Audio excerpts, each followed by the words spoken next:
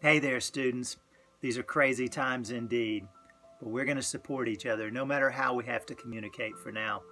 Imagine what it's going to be like when we return to campus and hang out at the Tivoli and work out at the Wellness Center and see all our friends and faculty again.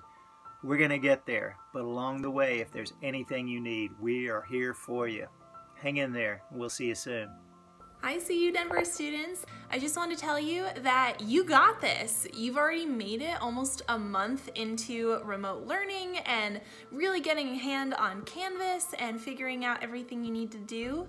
And you're doing awesome! Just remember that we're all here to support you, so reach out to us. Let us know if you need help. We want to make sure you're successful, and you are successful. You're doing great so far. So just keep us posted. Let your faculty know when you need help. Let your staff know if you just need to talk to someone.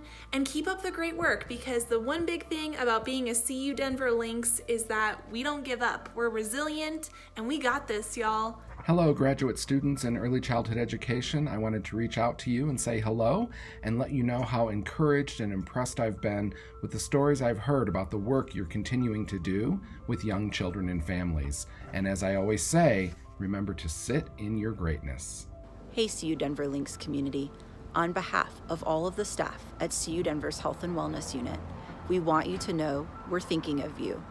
We recognize times are tough right now, and many of you may be struggling. We also know that you have the strength and perseverance to get through this. We care for you, we're here for you, we support you, you can do it. Hello, Lynx family. I hope you and your loved ones are safe and healthy. I know this is a trying time, but what I also know is that just like Milo, our CU Denver students are resilient and resourceful. All of us at the university care about you and are here to support you. I encourage you to keep talking to your faculty and advisors so that they know what you need. We can and we will get through this together.